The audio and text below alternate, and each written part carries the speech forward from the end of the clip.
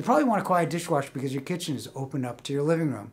However, it is common to overbuy for quiet dishwasher. One of the quietest is at 38 decibels. You can buy a still noiseless Beko or KitchenAid 39 decibel dishwasher for $1,000 less with very good features. Click the link to learn how to buy a quiet dishwasher without spending a fortune.